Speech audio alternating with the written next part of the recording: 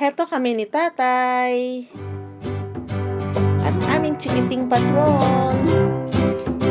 Welcome kayo sa aming home sweet home.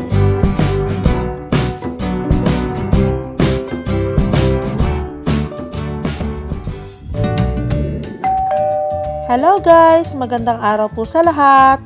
Nandito po ulit ang inyong Mama Love. Magluluto tayo ngayon ng spicy fish tofu. Welcome kayo sa kusina ni Nanay!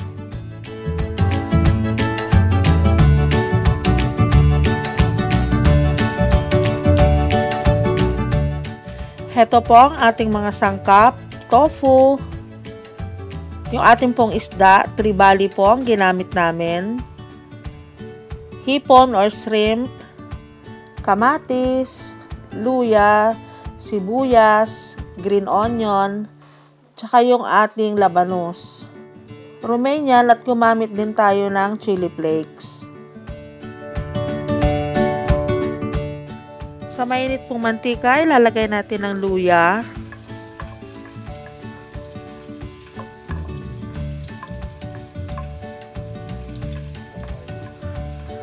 At isusunod na rin po natin ang sibuyas. Then nahaluin lang po natin ito hanggang sa maluto ng bahagya ang ating luya at sibuyas.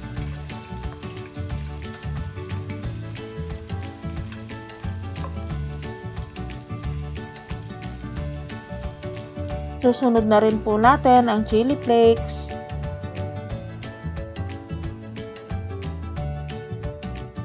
Unti-unti lang po ang paglalagay natin ng chili flakes nang sa ganon kaya lang po nating anghang ang may lagay natin.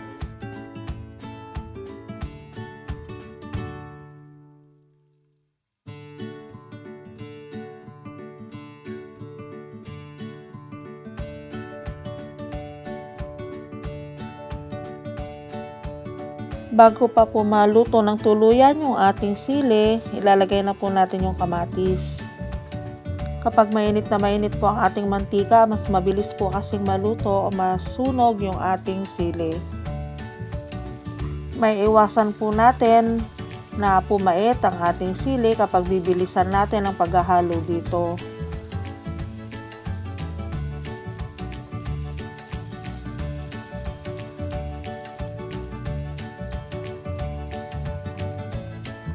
At kapag nagbago na po ang kulay ng ating mantika, pubusan na po natin ito ng mainit na tubig.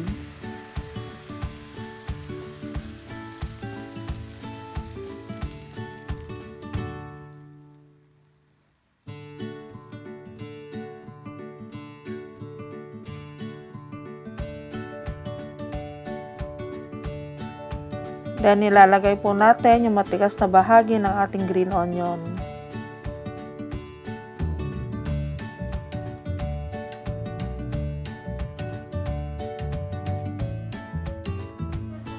Maglalagay na rin po tayo ng asin at paminta.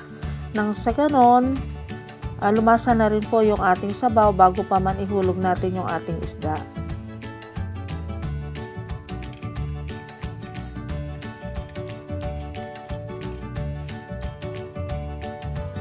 Hayaan lang po muna natin itong kumulo ng ilang minuto. Pagkalipas po ng ilang minutong pagpapakulo, lumasa na po sa sabaw ang lahat ng sangkap na inilagay natin. Pwede na po natin ilagay yung ating isda. Dahan-dahan lang po ang gawin natin sa paglalagay ng ating isda. This time po kasi masyado nang mainit yung ating sabaw.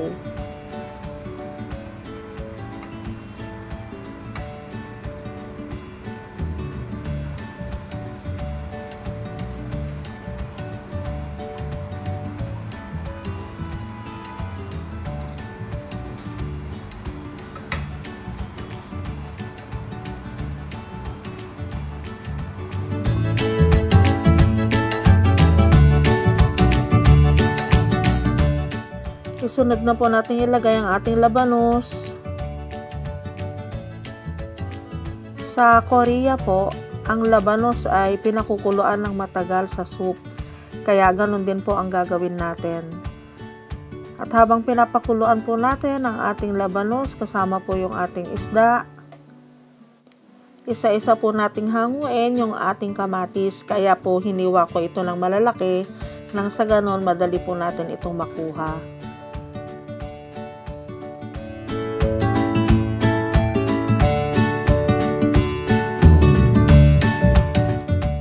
Pipigain po natin ito ng parang sa sampalok lang. Ayan yung ginagawa ko dyan. Di po pa ganyan yung ginagawa natin kapag pinakuluan natin yung sampalok. Ayan. Pagkatapos po natin itong mapiga, ibabalik na naman po natin ito sa ating kaldero.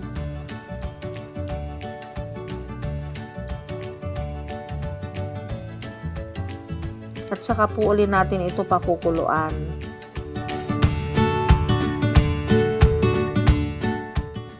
At kapag ang kamatis po ay lumasa na sa ating sabaw, ilalagay na natin yung ating tofu. Hayaan po ulit natin itong kumulo ng kumulo.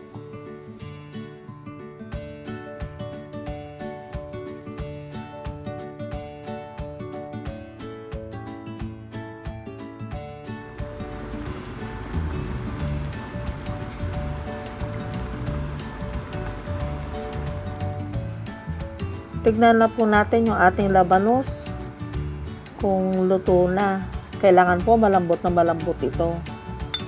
Ayan, pwede na. Ganyan pong lambot yung hinahanap natin. This time po, lalagyan na natin yung ating sili at hipon. Ngayon lang po natin nilalagay yung ating hipon kasi pag nilagay po natin sa unahan, magiging rubberized po yan. Madali po maluto ang hipon.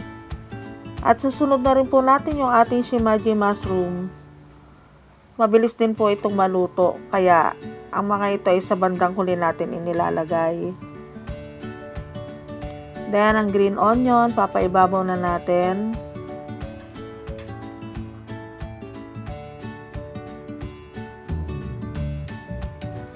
At sa panghuli, yung ating pong Romanian.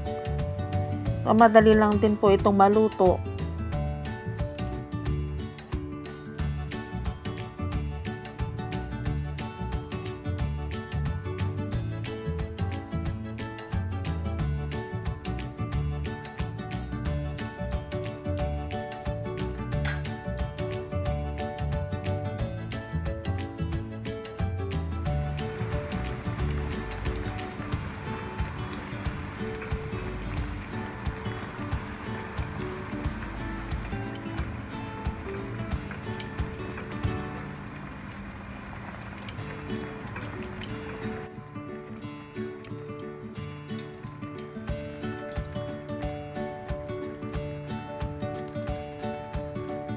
Hihintayin lang po nating maluto yung ating Romanian.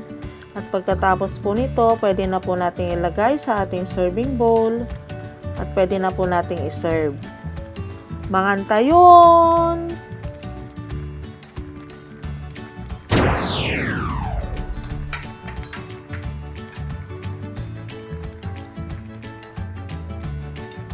Susunod naman po, gagawin natin ang ating chili sauce.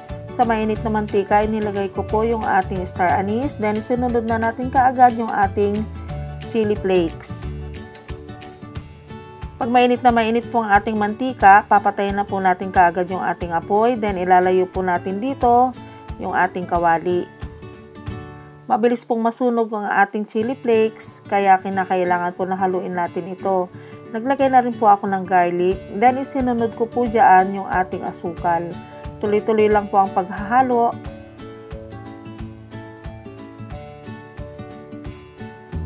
At kapag nawala na po ang bubbles sa ating mantika, ibig sabihin po, nagre-reduce na po yung init.